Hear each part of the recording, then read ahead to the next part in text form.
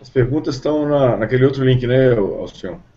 As perguntas, você vê no canto esquerdo aqui, tem a aba, é o terceiro ícone, tá QA, né? Question Answer. Ah, tá.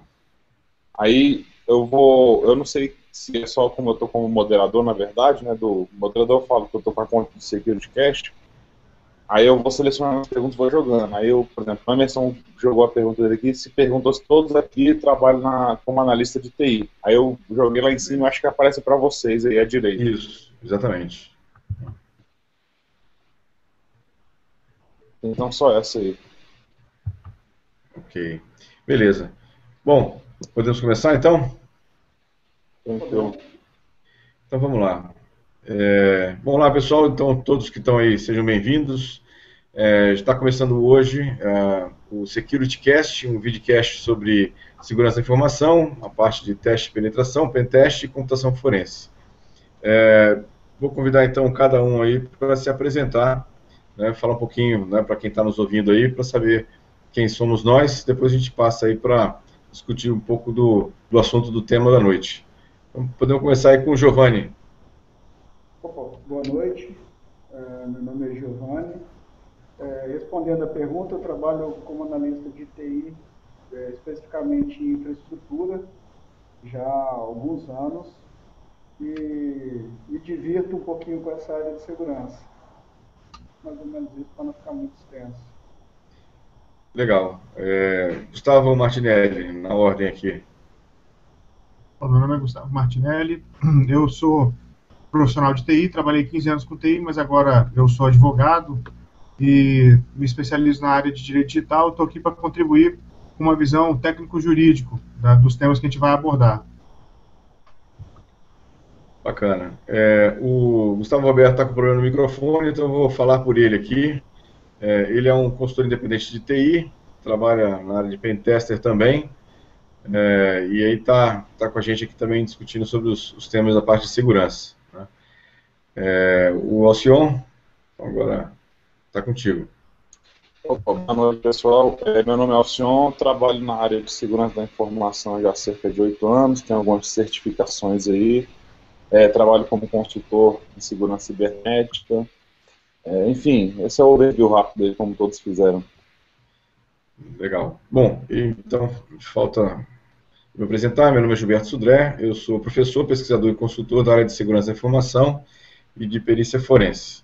Feitas devidas apresentações, vamos começar a falar do assunto da noite, que a gente escolheu aí de falar sobre a falha no código do OpenSSL que deixou boa parte dos servidores da web vulnerável. Né? A vulnerabilidade chamada de Heartbleed, ou Heartbleed, é um, bug que foi considerado bastante severo na biblioteca de criptografia chamada OpenSSL. A falha, né, como a gente já tinha, foi bastante noticiado aí, permite o roubo de informações é, protegidas pelas criptografias nos protocolos SSL e TLS, né, que é bastante comum aí na internet, para criptografia de comunicação, é, principalmente a parte de instalação de algumas VPNs aí. O bug, né, ele permite que qualquer pessoa na internet seja capaz de ler uma parte da memória dos sistemas protegidos, e aí, como ele está lendo a parte de memória, ele acaba expondo né, uma série de informações, ou pode expor uma série de informações, como senhas, chaves criptográficas, e aí, inclusive, uh, obrigou muitas pessoas a terem que trocar suas senhas em relação a isso. Né. Só lembrando que a falha não estava no protocolo em si, mas estava na implementação do protocolo. Né? E aí, devido à importância e impacto dessa falha, o assunto do videocast de hoje é o bug. Então, vamos estar tá aberto aí as discussões. Quem quiser começar a fazer os primeiros é, contatos ou bate-papo aí, fica à disposição.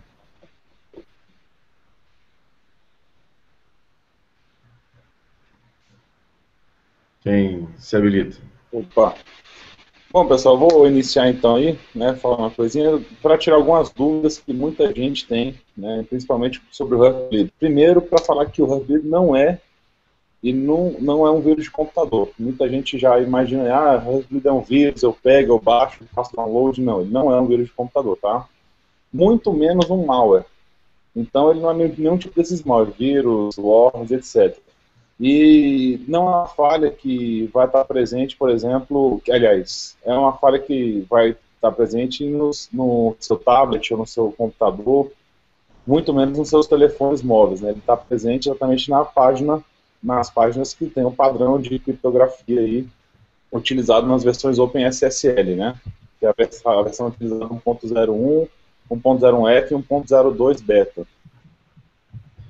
Se eu tiver errado aí, por favor, me, me critiquem, me chutem. Me chutem. Mas é, é isso aí, é, é, isso, é isso mesmo. Né? Basicamente, acho que é, me parece bastante é, com um buffer overflow, né? Pela, pela situação. Ele acaba lendo um pedaço da memória lá e devolve de volta para quem mandou. Só corrigindo um pouquinho, essa falha do Heartbleed inaugurou uma nova categoria de buffer. Não chega a ser um buffer overflow, é um buffer overread. Ah. Você consegue ler por cima do buffer. Na verdade, você não está ele, está atropelando a leitura ah, na hora de você é, explorar essa falha. Exatamente, exatamente. É, é uma questão importante, até é, como ele afetou muitos sites, deixar claro aí para quem está nos ouvindo, né, ou nos assistindo, que é, realmente é uma questão importante, troca de, a troca das, das senhas né, de vários servidores, é, o próprio Google. Eu recebi aqui um, alguns comunicados de alguns sites, como por, até o próprio CGIBR mandou uns, alguns e-mails avisando que era importante a troca das senhas, exatamente por uma questão de segurança, já que as senhas poderiam ter sido é, expostas no uso naquele período em que eles estavam ainda com com a exposição é, não corrigido, né, do, da biblioteca do OpenSSL. O mais interessante é que saíram um monte de notícias aí no, no, mercado dizendo que a NSA já sabia desse bug há muito tempo, né, coisa de anos, e usou esse bug para espionar muita gente é, sem que ninguém soubesse. Né. É, é verdade. Inclusive esse bug aí, ele já tem em torno de dois anos já que ele existe, né? E, inclusive, Gilberto, não sei se você pode deixar aqui, tem um pessoal fazendo uma pergunta, o Felipe Garcia, né, tirando a brincadeira aí do, do outro nosso amigo, como o usuário comum pode se proteger dessa parte aí, né, dessa falha? Bom, a, a, principal proteção é, nesse momento agora é troca de senhas, né? trocar suas senhas dos sites que você mais utiliza, principalmente é, sites de redes sociais, o Gmail, né? é, o Netflix, que também estava na lista, né? o Yahoo também estava na lista como um site que foi né, possivelmente atacado por esse tipo de, de falha, e trocar suas senhas assim, o mais rápido possível, né, para poder ter ter uma proteção. Na verdade, não tem o que o usuário fazer no, próprio, no seu próprio computador, como o senhor falou. O que ele tem que fazer é, a falha estava no site onde ele acessa, por isso que ele teria que trocar realmente a senha. Trocar a senha desde que o site já tenha corrigido o bug. Não adianta nada trocar senha com o site sem corrigir, porque a, a falha ainda existente pode capturar os dados sigilosos novamente. Exatamente, exatamente. É, na verdade, hoje a maioria dos sites, até tem uma pergunta aqui do Samuel perguntando se, se todos já corrigiram é, o, esse erro, né, essa falha.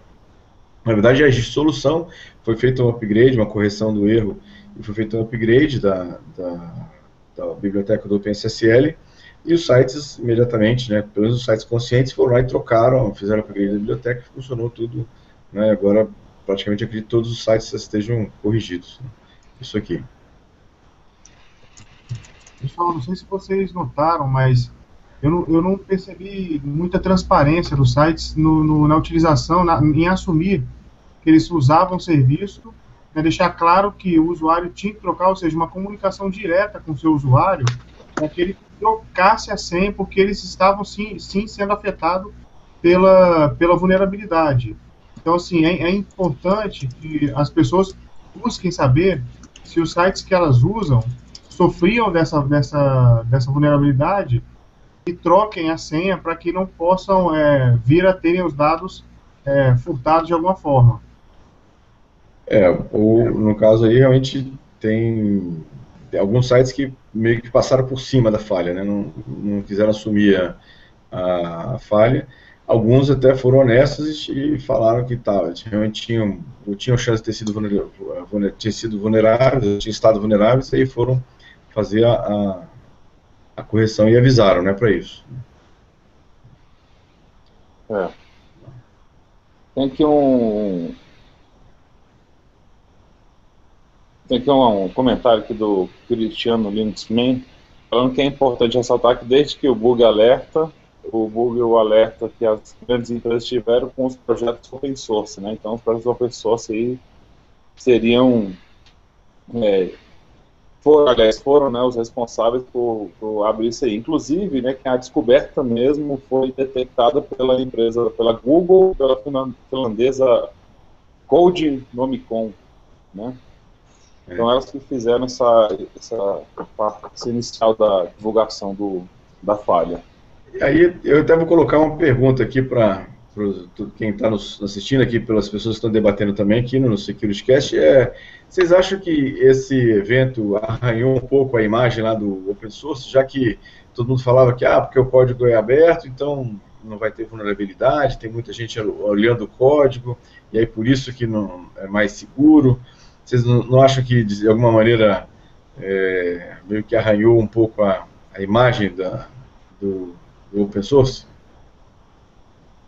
O que, que vocês acham? É, é, exatamente, foi até isso que foi comentado aqui pelo próprio Linux né, que foi feita essa associação todinha dizendo que o open source né, estava ligado. Bom, é, na, na, minha, na minha visão, é, realmente é um grande problema quando a gente fala assim, ah, vou abrir o código e o pessoal fala que o código está aberto e devido a isso é um, vai trazer problemas porque conhecendo o código eu vou conseguir acessar mais facilmente, vou conseguir invadir. Eu acho que isso é um mito, né, na verdade. Independente de, da vulnerabilidade, ela está no open source, ou está no código fechado, enfim. Eu acho que a vulnerabilidade ela vai estar presente em qualquer uma das aplicações. Eu não, eu não vejo que, que vai trazer uma facilidade, ou vai facilitar de alguma forma é, a pessoa conseguir achar um, me um mecanismo de tentar burlar aquilo ali. É, é, assim, acho, assim, na minha opinião, acho que de alguma maneira arranhou um pouquinho a, a imagem lá do, do open source. A gente tinha, tinha esse, um discurso montado para isso e acabou, de alguma maneira, ficando meio, meio exposto nessa aqui. Mas nada que, eu, que assim, não é igual ao software proprietário, por exemplo. Né, mas, e a correção foi bastante rápida quando descoberta. Isso é uma outra diferença que no código proprietário normalmente demora-se um pouco mais para corrigir a o problema, né? É isso.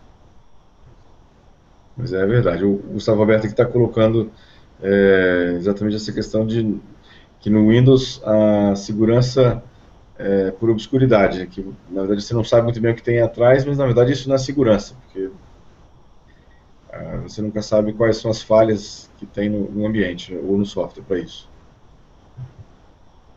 É, tem é por aí. Não. Essa visão mesmo. Pessoal, infelizmente. A, a, minha percepção em relação a isso vai muito. É, bem o que, o, o, que já foi dito. É, sendo um código, vai ter falha. Independente de ser open, de ser livre, de ser proprietário. O que eu achei importante, que eu, eu, eu discordo até da ideia de dizer que arranhou um pouquinho o, a imagem do software livre, é, que tornou possível outros pesquisadores identificarem a falha, já aplicar o patch de correção e já avisar o pessoal que desenvolve as bibliotecas do OpenSSL e a correção foi bem rápida. É, eu vejo isso como um aspecto benéfico em relação ao uso de software livre. E só para complementar uma coisa, é, eu tenho percebido que, a, que o nosso discurso está muito em cima a sites. E se a gente for analisar direitinho, a biblioteca do, do Alívio OpenSSL ela é usada em outros, em outros serviços além de, de sites com HTTPS. Como ele também su suporta o TLS, você pode ver o uso dessa biblioteca em serviços de correio eletrônico, você pode ver as suas bibliotecas é, em criptografia de VoIP, você pode ter as suas bibliotecas em em vários, em vários appliances.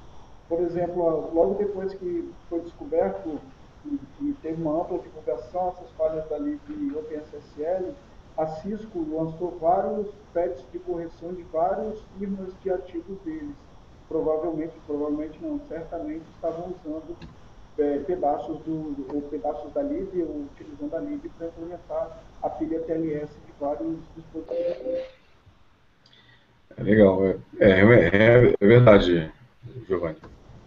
É, e assim, concordo com, é, com o Felipe aqui, que falou que realmente nada é, é 100% seguro, né? realmente não tem nada seguro, porque código, pessoas cometem erros, e erros acabam é, gerando falhas ou vulnerabilidades, não tem muito como um, para onde correr. É para isso aqui. Legal. É só para comentar também, aproveitando aí o que foi falado de aplicativos, realmente, os aplicativos principalmente de pagamentos, né, que eles chamam de app, é, tanto da Apple, Google, Microsoft, sistemas, é, eles, eles em si não foram a, tão afetados. Agora, se você utilizando aquelas contas do Google Play, lá do Google, Android, é, é interessante você trocar a senha, porque eles realmente foram afetados. O tablet, os tablets que rodam Android 4.1.1 também estão vulneráveis até então, né? Eles é, falam de um percentual que são cerca de até de 100 milhões de aparelhos que estão afetados com isso aí. É bastante coisa, bastante, bastante coisa. É, mas a alternativa realmente, acho que ajudou também para para dar um, assim, botar meio que um freio de arrumação no mercado e pessoas somente ver que é, a, a, essa questão de, de segurança não é uma brincadeira, é uma coisa realmente importante e como tudo está em digital agora, a gente está exposto realmente a essa, essa questão de, de, de segurança, não tem onde fugir. É isso aqui. Legal. É, Bom, alguém tem algum, algum comentário? Não sei se alguém quer comentar. Temos algumas perguntas aqui. O Cristiano até comenta aqui uma coisa interessante, falando sobre um grupo de empresas formado pelo Google, Facebook, Microsoft, Intel, Amazon e Dell, e ainda outras companhias, se uniram ao, ao Linux Foundation para um projeto de melhoria da infraestrutura, segurança da infraestrutura, bem interessante. Como ele, ele complementa aqui falando que cada um é, se, se comprometeu a, a 100 mil dólares, é isso? Por, por ano? Né, Para melhorar. É, essa é a. Bom, é, é, essa é uma parte interessante. Nesse, no caso, o open source, acaba, o open source acaba ajudando nesse item, né? Todo mundo se reunindo em torno de, uma, de um objetivo. É bem, bem legal. O Gilberto, você comentou essa questão de ter arranhado um pouco a imagem do open source, mas é, eu acho assim, é exatamente por ser open e todas essas grandes empresas né, utilizando esse serviço, quer dizer, se tivesse uma solução proprietária que fosse mais eficiente, não seria uma solução open source que estaria em tantas grandes empresas que têm serviços 24 por 7 na internet, por exemplo. É verdade. É, é, assim, o open source acaba facilitando esse tipo de, reunião de várias empresas em torno do software. Se fosse software proprietário, não ia acontecer isso. Né? A empresa dona do software tem que se virar para poder consertar o problema. Exatamente. Então, é, realmente é, é verdade. Né? Isso aqui. Uma pergunta aqui do Thiago Boas, é, vou até colocar ali agora. Ele uhum. fala o seguinte, por que, que a demora de quase seis meses para descobrir a falha? Na verdade, foi até mais tempo, né? Já existe há uns dois anos essa falha aí aproximadamente. Demora. Eu acho que a questão dessa parte aí de falar de divulgação tem, tem várias coisas no meio, né? Tem muita questão de interesse. É, quando, por exemplo, a gente até comenta, né? Em algumas aulas, pô, você descobriu o pulo do gato em alguma coisa. Dificilmente o pessoal vai lá e divulga logo o que descobriu, né? Ele vai explorar é. aquilo ali ao máximo e a divulgação começa interna entre as pessoas que estão estão discutindo, que tem conhecimento ali, depois isso vai se tornando público até o momento que estoura a bomba, quando o pessoal conhece. E tem também a questão que falam que foi a, a NSA já tinha conhecimento, né, e assim por diante. É, é, na verdade, tem um comércio né, de, de zero day, né, de, de vulnerabilidades também que vale é, vale muito, né? Uma vulnerabilidade é, não divulgada ainda vale muita coisa e aí acabam comercializando isso. Mas, assim, logo que foi descoberto assim, que vazou, a correção foi até rápida, foi coisa de dias, né, na verdade, que corrigiram o problema e os sites começaram a adotar a nova biblioteca, mas né, é, aqui o, até o Gustavo está falando né, que existe um mercado negro bastante grande de falhas que paga muito caro por essas falhas aí. Então, é, na verdade, fica aquela situação, né? Quem descobriu quer vender aquela vulnerabilidade depois vai usar para depois que vaza aí as pessoas, as empresas vão correr atrás para corrigir o problema. Então, é por aí. É isso aqui.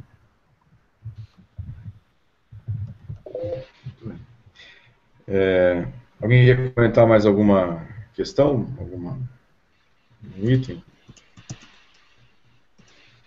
Tem uma pergunta do Gustavo, que não sei se vale a pena responder ao vivo, mas está perguntando para mim é, em que momento que ocorre a captura dos dados.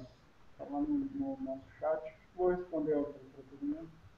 É, uhum. Ela usa o RESTbit do SSL, que é meio um KPI, para não, não ter que ficar restabelecendo a conexão se por acaso ela cair. É, e esse RESTbit ele é uma troca de mensagem mais ou menos o seguinte, eu mando uma, uma string e espero receber a string de volta. Só que no RESTbit, além da string, tem um campo de tamanho. Então eu mandei string de 5 caracteres e coloco o número de 5 bytes para me responder. É, esse é, overreading acontece se você manda uma string nula e bota um campo de 64 bytes. Daí a, o servidor que está com, com esse SSL afetado, ele vai pegar 64 bytes da memória e te devolver a conexão. Você faz isso com, com você faz essa mesma pergunta, manda esse REST muitas vezes você vai recebendo blocos de 64 bytes do, da memória do servidor que está com a pilha SSL implementada. Você tem um dump da memória dele e daí é, você vai ter é, chave de sessão, você vai ter senha, vai ter uma, as informações que estão na memória é, daquele servidor, caso web, você vai conseguir capturar isso tudo e processar. Tem até aquela coisa assim, não é pela falha que você vai descobrir a senha, é, mas pela falha você pode descobrir a senha. É meio uma incógnita então até, até o, o, o que foi possível capturar com, com o dump da memória do servidor. Mais ou menos isso, é, em linhas gerais. É, quem usa Linux do, do, de antigamente era meio que você fazendo strings no carcore que você vai receber o que está na memória. Daí você se diverte com aquele monte de dados que tem. Ah. Só para complementar aí, o, o que é interessante também, além dessa captura, como ela é feita, que você comentou aí muito bem, é, o problema é que o, abuso dessa falha ainda não deixa nenhum tipo de vestígio, né, ou informações incomuns nesses logs que o pessoal tem. Então fica até complicado de saber se houve algum roubo ou muito ataque ou não, se houve essa, esse roubo de informações ou não, para você conseguir fazer um, um fazer uma mensurar, será que meus clientes foram roubados as senhas? Por isso que o pessoal tá todo mundo falando assim, ó, pessoal, troquem as senhas, nós alteramos aqui a versão do nosso OpenSSL, a mudamos agora, né, para mais para a versão corrigida, e agora altere sua senha, porque nós não sabemos se ela foi roubada ou não, né? fica realmente obscuro isso aí também. Exatamente, ninguém tem certeza se foi ou não foi espionado, né, mas na verdade, pela, é, pelas... É, possibilidades, né, fica todo mundo assustado e acaba a sugestão de que mude os meus, os, as senhas, né, exatamente em relação a isso.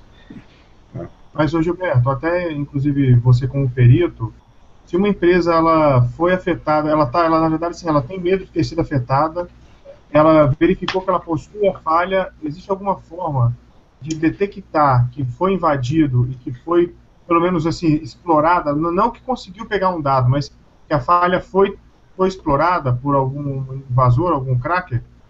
Esse é um outro problema, Gustavo, que é, não tem rastro. O ataque não deixa rastro no servidor. Então, é, ele não, como é, faz parte do protocolo, né, a situação era uma falha e, e, o protocolo devolvia, não tem muito rastro para saber se foi ou não é, atacado. Se eu estiver errado, alguém me corrige aí, mas eu, só no momento. Vi, é, só se ele estivesse monitorando a rede naquele momento, vendo que tem alguma coisa estranha né, passando pela rede lá, mas acho que é muito complicado. Né? Normalmente, se é uma coisa passada que ninguém monitorou, é difícil de saber. Mas porque, por exemplo, se alguém vier ver, ver sofrer algum dano é, moral ou até mesmo material na captura de senha e, e, conseguiu descobrir uma senha de banco, por exemplo, não que tenha sido afetado pela, pela, pelo, pela falha, mas que a senha provavelmente seja a mesma, a pessoa pode pedir reparação. Agora, como é que prova a culpa disso, né? É, exatamente. Tem que provar que a senha vazou dali, né? Porque a senha pode ter vazado de um monte de lugar. O cara anotou, anotou em algum lugar, o cara tem um keylogger na máquina, o cara usou de, um, de uma máquina é, pública. Então é, é difícil, né? Para provar que realmente a, a, o vazamento aconteceu daquele, naquela máquina assim. É, é bem complicado. Tem que provar, né? Para isso. É verdade. Temos mais uma pergunta aí, pessoal. É, nesse caso de todos os países foram prejudicados, aliás, todos os países, é, uma questão de um pouco investimento, etc., tecnologia, eu não, eu não falo nem que o Samuel, tá, Samuel Silva está fazendo aqui. Eu não falo, eu não chego falar nem questão de país, não, tá? É, são todos, é na, fala, na parte web inteira. Né? Todos os serviços que utilizavam essa, essa utilizavam o PSSL, que está na versão vulnerável, todo independente do investimento em tecnologia, né? Já que para buscar essa informação aí, como até complicado até deixar ou não o registro, né? Enfim, então, se tiver essa vulnerabilidade, independente do parque de tecnológico que ele tem, de segurança, de infraestrutura que ele tem para salvaguardar os equipamentos e a informação dele, vai realmente, a informação vai vazar, a não ser que ele faça a alteração para, essa nova, para as novas versões do OpenSSL. Interessante. Muito bom. É, mais algum comentário, alguma consideração, pessoal, sobre o, a, a falha? Alguém quer fazer mais um comentário? É, eu, tenho, eu tinha anotado aqui, não sei se quem ainda tiver alguma curiosidade para saber se o site que está acessando ou se o serviço que está usando ainda é vulnerável a, a esse ataque, tem um site chamado lastpass.com, é, Heartbleed, ele é, é, um site que você tem um campo lá que você coloca o endereço do site, ele diz se o, o site já ainda está vulnerável ou não. Então quem tem a curiosidade para saber se o, aquele serviço que está usando, aquela, aquele site que está usando o seu serviço, ele é, foi, fez a correção ou ainda não fez a correção, né, é, tem esse site lá. Vou repetir então, é lastpass, lastpass.com é, barra Hurtbleed. Esse site tem lá um campo que você digita e vê qual é o, o se o, provedor que você está usando, o site que está usando, ainda não corrigiu o problema da vulnerabilidade. É, para mais informação aí, né, fala assim, ah, houve a, a vulnerabilidade e teve um pessoal que coordenou uma resposta né, para essa aí. Então foi a NCSCFI, ela tomou a tarefa de informar os autores do próprio OpenSSL, tanto de software, sistemas operacionais, fornecedores de solução, que foram potencialmente afetados. Entretanto, né, até então, a vulnerabilidade encontrada e os detalhes lançados foram tomados de forma independente também por outras, outras, outros fornecedores, outras pessoas que foram descobrindo também, foram trazendo isso aí. E trazendo essa informação para depois que os usuários né, desse serviço na internet fossem notificados para tomar a ação necessária, que a gente já comentou aqui das ações que foram tomadas. Isso, isso aí. Legal. É...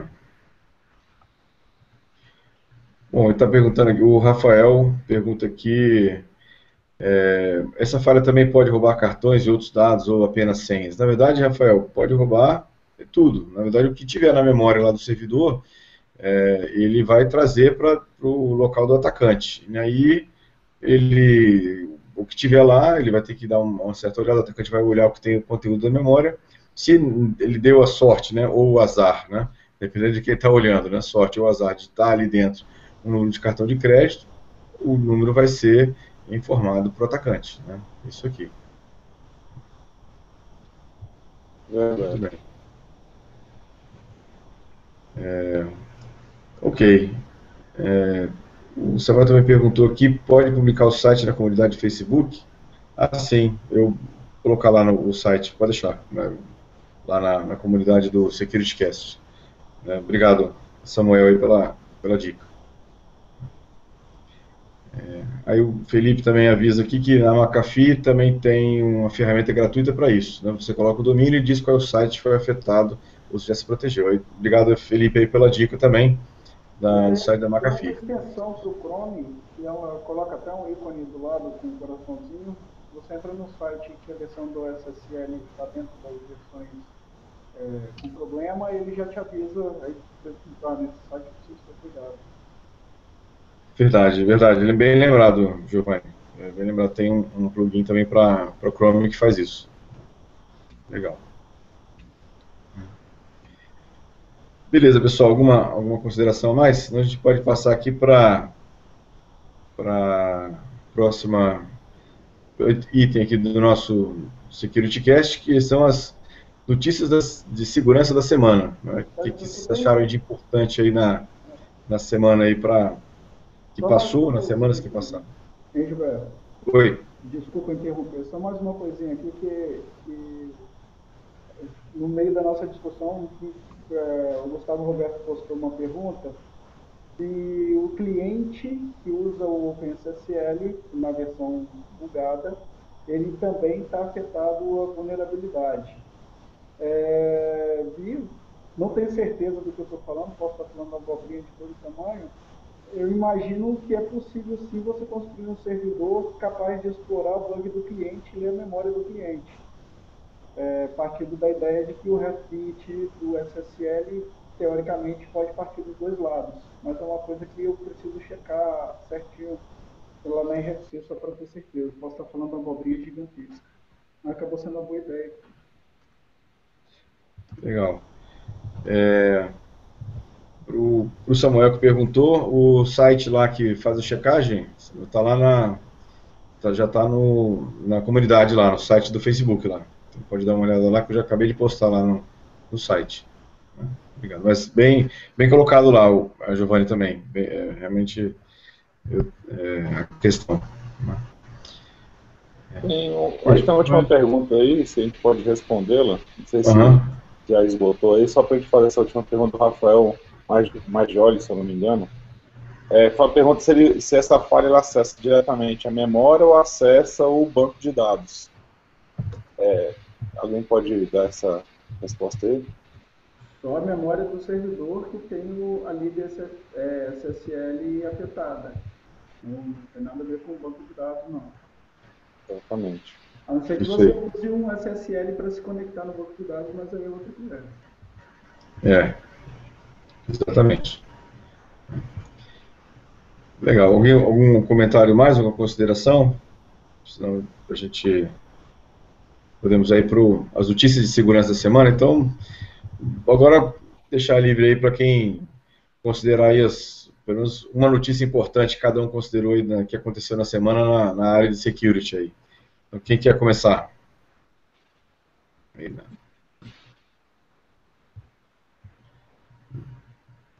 Vamos lá. Bem, deixa, posso, posso começar então aqui?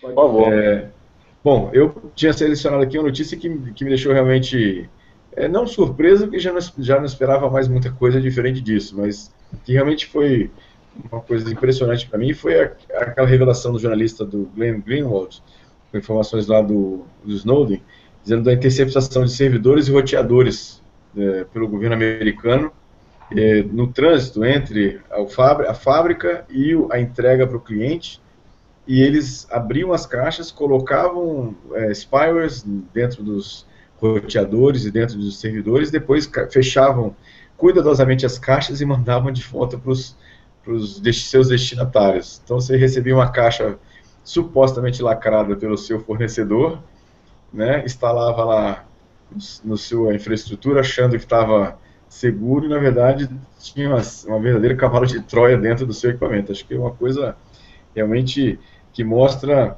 a, o, até aonde chegou a, a, invasão praticada pelo governo americano. Realmente ninguém estava salvo de coisa nenhuma né, é, em relação a essa questão do ataque. E o mais, acho que mais surpreendente disso tudo é que o próprio governo americano colocou uma série de restrições em importações dos equipamentos da Huawei, exatamente falando que a Huawei estava fazendo esse, essa situação, estava colocando lá nos, nos firmwares dos equipamentos é, é, né, para monitorar o governo americano e o usuário do governo americano. Então, ou seja, é, o governo americano impediu a Huawei de vender os seus equipamentos, mas ele mesmo estava fazendo a mesma coisa com usuários internos e até externos, né, até internacionais.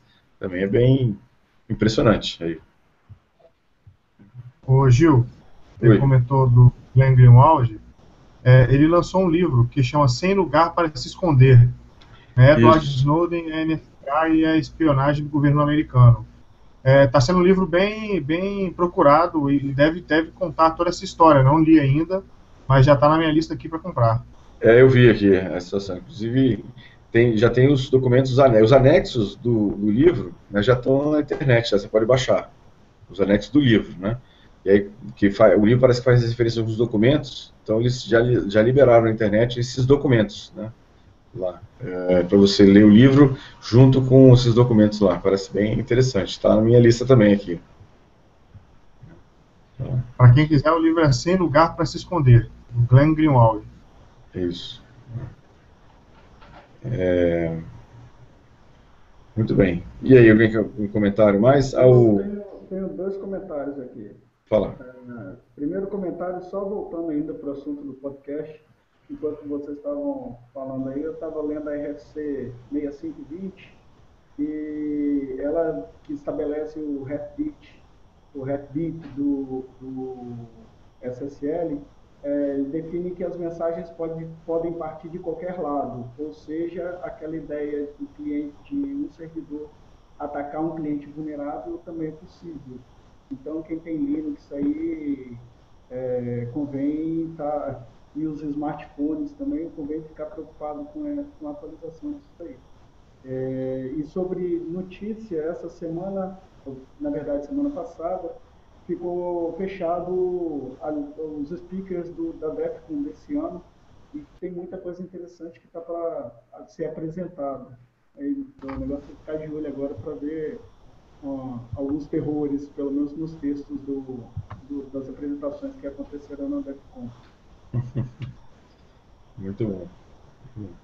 O Gustavo Roberto aqui coloca aqui uma notícia que ele achou que é interessante, o FBI prendeu 100 hackers que estavam linkando máquinas para os Black Shades Malware. São, é, segundo eles, estavam lá é,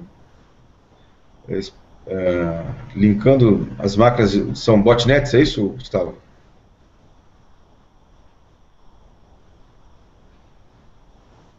É isso aí. É por aí.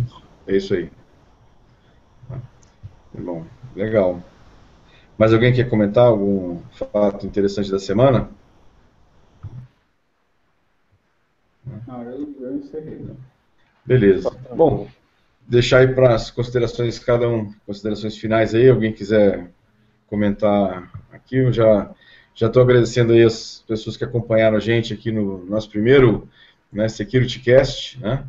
É, e aí que, que, obrigado pela participação, pelas perguntas, pelas, pelos vídeos. Ah, tem uma última pergunta aqui. É, o que, que, vocês acham do treinamento? O Felipe também pergunta aqui, o que, que vocês acham do treinamento de drones para entrega de encomendas no futuro? A máquina substituindo o homem. Alguém quer comentar sobre, sobre isso? Eu acho que Acho que seria um ótimo assunto para o próximo webcast, né? Daqui a 15 dias aí, até informar os nossos usuários sobre isso também. Achei interessante, né? Como é que a gente vai funcionar, já que é o primeiro. Legal. Bom, Felipe, então você ajudou a gente aqui a fazer o próximo é, SecurityCast. Seu assunto aqui já vai estar reservado aqui para quem quer acompanhar a gente aqui. Na verdade, o SecurityCast tem uma gravação toda segunda-feira, na verdade, às segundas-feiras, às 23 horas. É, de 15 em 15 dias, né, quinzenal. Então a gente já tem aí um, um assunto. Obrigado, eu, Felipe, pela sugestão para o próximos o próximo Security Cast, né, sobre isso aqui. Valeu. E, então, bem, vou agradecer aqui a quem nos acompanhou, quem mandou as perguntas, quem participou aqui com a gente. É, e aí, agradecer aos, aos participantes, né, pessoal e, e vocês, né, Gustavo, Roberto, Gustavo Martinelli, Alcion né, e o Giovanni. É, e aí, é, deixar agora aberto para vocês fazerem as considerações finais aí, fiquem à vontade. Um abraço para todo mundo, espero encontrá-los daqui a 15 dias. Se o pessoal quiser propor, propor assunto, igual o Felipe falou sobre os drones, só escrever para a gente que a gente está discutindo aí. E qual o e-mail de contato que a gente pode passar então? É, na verdade, o Gustavo, eu estava pensando no, no própria comunidade do Facebook, lá no www.facebook.com.br/seccast, né? Pode. É. Inclusive, Gilberto, te cortando assim, é, acho uhum. interessante, a gente, vai, a gente vai pegar essas ideias que o pessoal vai mandar, até para colocar como um, uma publicação posterior, a gente vai colocar lá para votação e as mais votadas pelo pessoal a gente pode deixar lá e vai ser realmente, a gente coloca uma votação de uma semana e na, na semana seguinte a gente faz a, a publicação de qual que vai ser já o nosso webcast. Muito bom, senhor, muito bom. Legal. Bacana. E esse, esse seria o do drone primeiro, então, para botar lá para votação, ou a gente já fica com ele? Não, vamos botar na votação, daqui a pouco aparecem mais algumas né, de, diferentes aí, mas a gente pode falar também do drone também, mais outras ideias que aparecerem durante, durante a semana lá. Então, assim, acho que o, o caminho, para quem quiser, então, interagir com o SecurityCast lá, tem o Facebook, www.facebook.com.br SecCast, tudo junto, né? S-E-C-C-A-S-T, né? SecCast. E aí, mas continuando, então, deixa eu interromper aí o pessoal, as considerações finais aí do pessoal. Então, vou agradecer o pessoal, então, pela pela audiência, né, como diz outro, como se falando, pela audiência, pela paciência, pela contribuição, principalmente. E espero vê-los então dia 3 de junho aí no nosso próximo nosso próximo webcast, após decidido qualquer é assunto. Aí, e como a gente falou, até pedir uma certa desculpa, já que é o primeiro webcast, né, vão ter alguns erros que vão, vão acontecer e que a gente já espera a contribuição dos senhores aí para mais para frente, a gente corrigindo isso aí, melhorar cada, cada vez mais e trazer informação para vocês. Legal. É, mais alguém? Gustavo? Beleza, pessoal. Eu queria agradecer realmente a participação. Eu fiquei, fiquei bem satisfeito, o pessoal bem participando, mandando pergunta. Quem tiver alguma dúvida também, até de cunho, se tiver de cunho jurídico, pode ficar à vontade, que eu estou aqui para tentar ajudar. É, legal. O Gustavo Roberto aqui está mandando, agradecendo a audiência aí e um happy hacking para todos.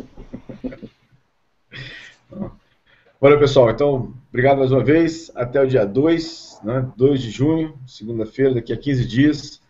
A gente vai estar aqui de novo no Security, no Security Cast a partir de 11 da noite. Né? Um grande abraço a todos, uma excelente semana aí para tudo mais. Obrigado aí mais uma vez pela audiência e, como diz o Sion, pela paciência. Falou. Valeu. Valeu. Um abraço. Um abraço.